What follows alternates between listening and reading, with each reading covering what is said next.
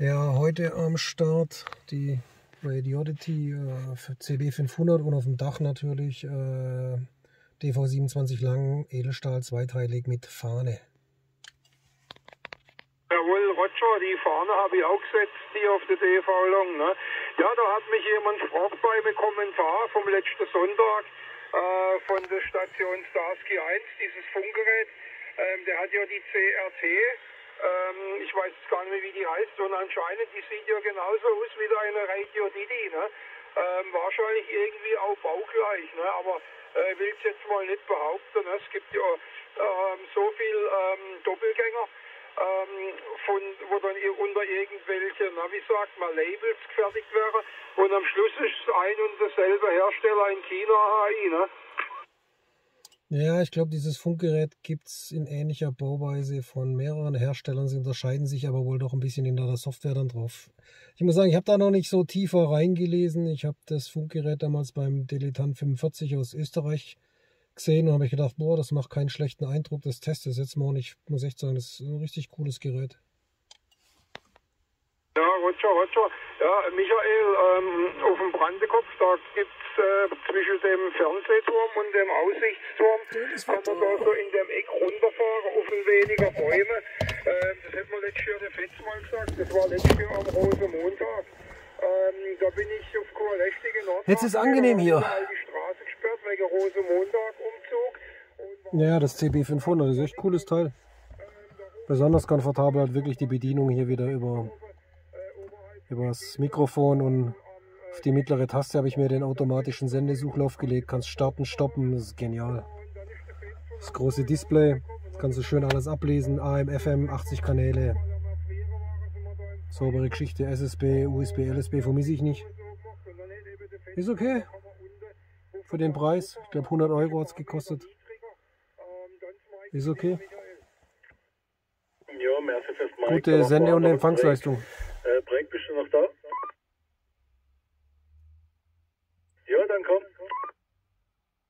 Und äh, Rauschunterdrückung ist echt gut. Oh, den hören wir jetzt gar nicht. Wo auch immer der sitzt. Ja, und die 78. Ah, Bandwurm. Okay, grüß dich. Die 78 entwickelt sich hier echt zum Bergfunkerkanal. Na, mich wahrscheinlich höre, ist ja klar. Und der Tommy vielleicht noch. Äh, Tommy, kannst Mike noch zu dir? Du hörst doch was, ja, oder? Nee. Ja, danke fürs Mike. Ähm, leider, ich höre eine Moduliere, aber kann kein Wort verstehen. Ähm, wo steht denn der Horst? Ähm, äh, Michael, Mike zu dir. Äh, Horst, wo bist du? Biberach. Biberach. Sehr schön. Kommt hier leider nichts an. Oh man, schon 16 Uhr, verdammt. Sollte langsam los. Das heißt, ich sollte los, ich muss los. Zwei Minuten. Ja, okay. Ja, kann ich jetzt nicht beurteilen. Ne? Ich höre dich relativ gut. Ich weiß es nicht, ob der Rest dich mitkriegt. Ähm, Tommy in Biberach ist er. Okay, Roger. Ähm, dann gucken wir mal, der Hans, der könnte ja den, äh, die Station Bandwurm auch aufnehmen. Hans, äh, das Mike zu dir. Jo, ich kann ihn auch hören, aber das könnte ja rein theoretisch aufs Kambacher Eck noch fahren, der Bandwurm. Das wäre ja ideal, ne? Da kommt er auch relativ gut rüsten.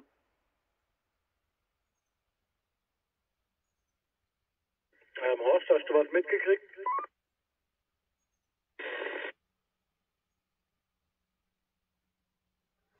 Nee, Horst, tut mir leid, auf dem Brenn kommen sie nicht an.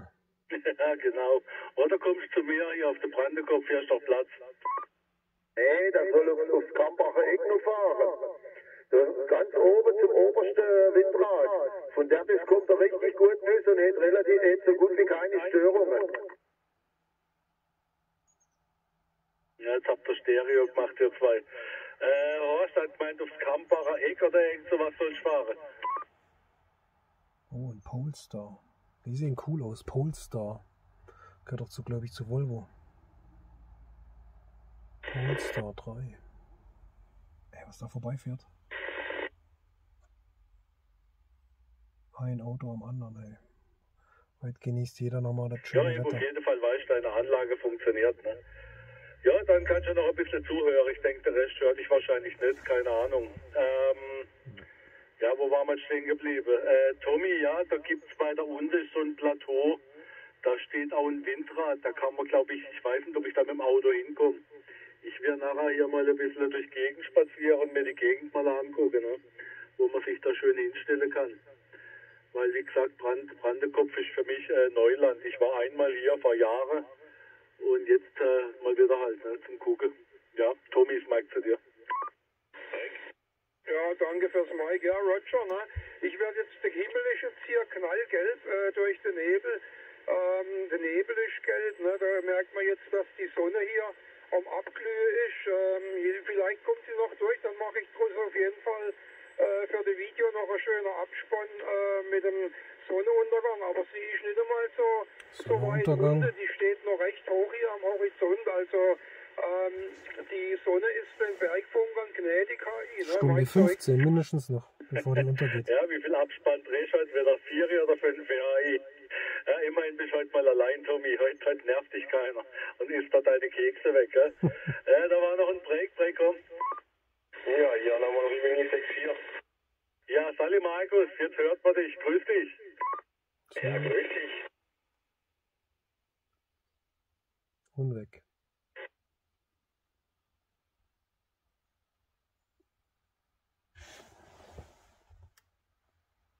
Ähm, Horst, bist du noch da? Ja, der Thilo, der hört dich auch, den habe ich ganz vergessen, da, da auf dem Langerhart, stimmt. Das geht auch, der Henry 1, der kriegt dich auch. Hörst du den Thilo? Brille.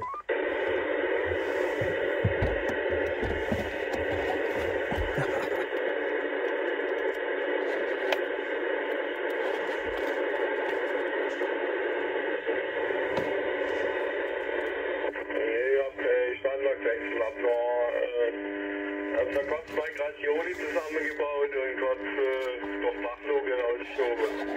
Und ein leichtes 50 Herzbrummen.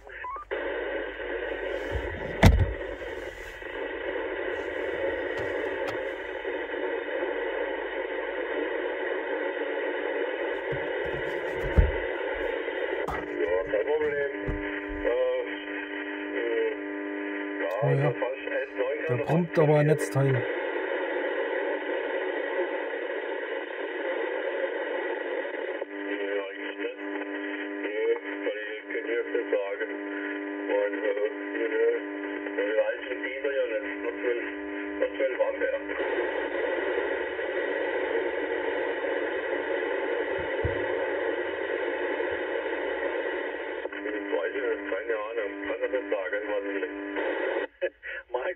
Oma auf der Höchstleistung, oder wie?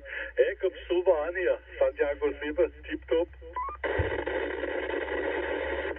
Ja, wenn das so ist, kann ich, kann ich ja noch ein wenig Leistung weniger machen. Ja, hätte jetzt nicht denkt. Hat dich jetzt doch motiviert, deine Antenne aufzubauen? Ja, ich hab sie noch, hab sie noch, die ist ja gleich aufgebaut, weißt du, das ist ja nicht das Problem. Die ist, äh, äh, wenn ich noch ein Stück zusammenstecke und dann habe ich die halt jetzt denkt, das- jetzt kann man so probieren, ob so so ist der Dachluke rausgeht, halt, da jetzt muss ich jetzt nochmal gucken.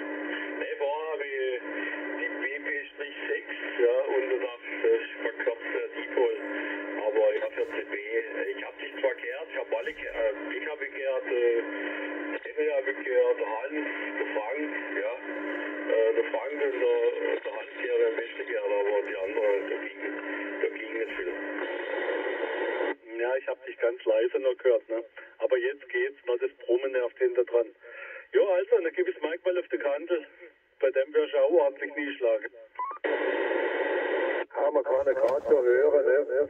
Aber ich hingehen und würde mal die ganze Biene wieder einfangen und äh, in den Stall bringen. Das ist ja vielmäßig, wie die da um dein, um dein Mikrofon kreisen. Kann ja kann ja nicht sagen, was es liegt. Aber ich kann jetzt Gerät wechseln, ja. Äh, dann wird es vielleicht besser werden. Ich wechsle gerade mal das Gerät. Ja, da brummt sein Netzteil. Ja, so ist halt, wenn man Imker ist. Ja, immerhin hört man ihn jetzt, ne? Besser als vorher. Ah, ja, ah, ja, schöne Runde heute. Da sind ja alle vertreten, ne? Tipptopp. Tommy, machst du ein schönes Video heute? Ja, Roger. Ich wollte eigentlich heute nicht filmen, aber jetzt mit dem Nebel und mit der Sonne und äh, mit der großen Runde, ne, dann gleich habe ich da da draußen. angeschmissen. Ne? Das ist ja Funke und Filme, das ist ja bei mir schon eins. Ne? Ich wollte jetzt mal fragen, äh, Dennis, auf dem Brand hast du den Horst, äh, die Station Bandwurm, konntest du den aufnehmen? Äh, das Mike zu dir, Dennis. Mm, Bandwurm, wo sitzt der nochmal? Wer war jetzt das? Also der von gerade eben mit dem rauschenden Netzteil, das habe ich gehört. Ja, der Horst war kurz vorher in der Runde. Ich weiß nicht, ob er jetzt die QDH noch wechselt. Ähm, die Station mit dem brummenden Netzteil, die kann ich aufnehmen. Die kommt gerade über so übers QRM. Ähm, das war der Markus. Ähm, äh, Markus, äh, wenn du mich aufnehmen kannst, äh, hier Grüße vom Schliefkopf von der Lassie 01. Äh, wo stehst denn du? Wo ist denn die in der QDH? Ja, Tommy, der wechselt gerade schnell das Funkgerät. Äh, der Markus ist in Wiel am Kaiserstuhl. Ah, okay, ja, da kommt ja der Dennis ähm, zum Kaiserstuhl. Das geht ja gut vom Dennis, ne? Ja, ich habe auf jeden Fall gehört. Und äh, Ander, der, der Bandwurm, da war in Biberach, Dennis. Auch hier bei mir im Kinzigtal. Äh, jetzt weiß ich auch nicht mehr. Ich glaube, vorher war welche, die habe ich nicht empfangen können. Ja, dann war er das, ne? Er ist unterkünftig da unten im Tal. Deswegen klappt das wahrscheinlich nicht zu dir. Ja, ich glaube, der war im Funkschatten zu mir. Ja, bin ich auch da. Oh, das hört sich jetzt angenehm an. Also Markus, dann komm nochmal. Der Tommy hätte ich gerade noch begrüßt, da war ich gerade im Hintergrund. Ja, Tommy habe ich vorher nicht gehört. Äh, weiß nicht, ob er mich, äh, Das ist jetzt er mich gut. mit der Konstellation bekommt. Markus, falls du mich äh, aufnehmen kannst, viele Grüße vom Schliefkopf, ne? hier die Lassie 01. Äh, du kommst mal besser, mal schlechter rüber. Äh, Nee, schwankt hier kommt er gut an. Aber äh, ich habe auch sehr, hohes QRM komischerweise heute hier oben äh, auf dem Berg. Ne? Das Mike Ja, zu also dir. hier brennt heute ist echt sauber in der Luft. äh, Heute Morgen war oder heute Mittag war ein bisschen äh, komisches Knattern und Rauschen, aber inzwischen, äh, inzwischen ist angenehm. Boah, sind schon jetzt über drei Michael, Stunden. ähm, ich konnte jetzt leider nichts mehr. Das ist wahrscheinlich ein langes Video, weil er mehr Teile. Aber eines das sollte ich schon los. Wie heißt da denn die Station? Ich glaube, ich muss zukünftig als ein bisschen später kommen. Mensch, Tommy. Äh, Rimini 64 heißt er, der Markus. Er hört dich aber nur mit Santiago 2. Okay, ja, er kommt hier mit 7, ne? also eine Stufe über dem QRM. Ist halt äh, sein Radio schwankend und geht als Grad wieder unter. Ne? Aber naja, da ist halt wahrscheinlich ein bisschen Topografie dazwischen. Ne? Ähm, hier versucht jetzt die Sonne nochmal äh, Anlauf. Ne? Ich bin mal gespannt, ob sie es schafft. Ne? Dass sie hier, dass wir vielleicht noch einen Sonnenuntergang haben, da oben, äh, schöner. Mal gucken. Aber der Nebel ist ja unten im Stunde. Tal weg, also ein Nebelmeer gibt es keines wahrscheinlich. Ne? Okay, jetzt Mike zu dir, Michael. Nee, heute ist andersrum. Heute ist der Nebel oben und ist schön. Ne? Ja, wie gesagt, ich hocke jetzt hier auch ein bisschen im Nebel. Es wird jetzt langsam kühl. Aber ja, es ist ja Herbst, ne? Es passt ja von dem her alles gut. Aber Tommy, komisch, dass du so viel QRM hast. Ich hab da QRM mit zwei bis drei, mehr nicht. Ich nehme gerade mal kurz Mike, wenn ich nach Osten schaue. Da könnte noch sein, wie die Wolken, wie der Nebel so richtig über die, über die Berghänge drüber kommt. Also er kommt jetzt immer näher und immer Das ist massiver. hinter mir, das nichts. sind so Stativ mit irgendwelchen Messsensoren und die haben, da hat jedes eine eigene Solarplatte zu der Stromversorgung und er hat gemeint, dass die hier am rund um die Schliffkopf Störungen verursachen. Also ich werde demnächst mal Hals über Kopf mal ähm, äh, wieder auf Trannis Grindedüse. Ähm, das, das fehlt mir ein bisschen, ne? mal wieder äh, auf 1150 Meter äh, senden. Das wäre natürlich nicht schlecht, ne? Ja, jetzt hast du Stereo gemacht mit dem Hans. Ja, Tommy, mach das. Geh wieder mal auf dein äh, Heimat-QDA Hornisgrinde. Das könntest du mal wieder machen, ne? wie gesagt, ich war gestern oben, aber ohne Funkgerät war wieder traumhaft schön, wie immer. Komplett anderes Wetter da oben. Ich gedacht, es ist schon Winter, komplett anderes Klima. Äh, Hans, schnapp das gerade mal, du hast Stereo gemacht mit dem Tommy. Ja, wenn der Tommy hingeht und mal Richtung äh, Osten guckt, oder du auch genauso und der Dennis auch, dann werden wir schauen, wie da die Nebelwände über die Gipfel drüber klettert. Ich sehe nichts nach Osten. Ähm, Hans, Da ist nur Wald. bei mir gibt's kein Osten, ich stehe hier mit im Wald. Geh mal auf der Turm auf, das siehst, das ist vielmäßig, das musst du einfach mal anschauen. Sieht richtig geil aus. Ja, ich stehe hier im Nebel. Geh auf der Turm auf, ich kann es dir nur empfehlen. So, Freunde, bevor das hier zu langweilig wird, brechen wir hier mal ab. Ne? Ich habe in 50 Minuten einen Termin. Er war noch nie oben, weil dann weiß er nicht, wie es ist. Ne? Und ich muss bin ich was jetzt schon erledigen. auf seinem Platz da oben gewesen. Hätte nicht gedacht, dass es dann heute erst so spät losgeht. Darum werde ich mal hier jetzt einen. Äh, Ja, und ich bin ja aber gerade mit der Windräder. Verabschiedung machen. Mit dem Windrad, der da so, Freunde, ich muss mal kurz zwischen rein breaken. Ich muss mich langsam vom Acker machen. Ich habe noch einen Termin heute Abend. Und dazu muss ich noch ein bisschen fahren. Also ich habe ja schon mal an alle angeschlossenen Funkhäuser. Vielen Dank für den schönen Nachmittag. 7355 hier von der Bergfunkstation Brennt. Im äh, schönen Sonnenschein noch und wünsche euch alle noch einen schönen Abend und dass bei euch die Sonne auch noch ein bisschen rauskommt. Alles klar, Dennis, komm gut heim und äh, vielen Dank fürs gute so. Danke, bye bye. 370 Dennis, mach's gut, bis zum nächsten Mal. Ciao, ciao. Äh, wir sehen und hören uns äh, auf YouTube. AI, bye bye. Auf jeden Fall, bis zum nächsten Mal. Ciao, Tommy.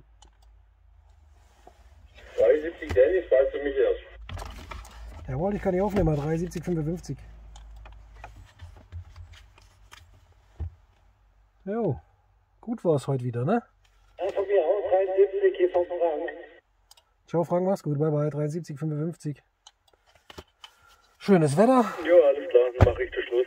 Tschüss, Dennis, 73 Schrottfreier. Danke dir auch. Ciao, mach's gut. Bye, bye. Ja, via Sicht QSO. Schöne QSO über CB-Funk geführt. Der Löwe 1 hatte er sein ähm, Amateurfunkgerät dabei. Da haben wir auch mal angeschlossen, mal durchgehört. Haben jetzt aber gar kein Video davon gedreht. War auch ganz interessant, was da so in den, in den anderen Amateurfunkbändern unterwegs ist. Das verstehst du nur nicht so viel, weil da wird ja nicht einfach so locker drauf losgequatscht, was wir so machen, sondern da ist halt, ja, du hörst eigentlich nur das NATO-Alphabet hoch und runter, ne?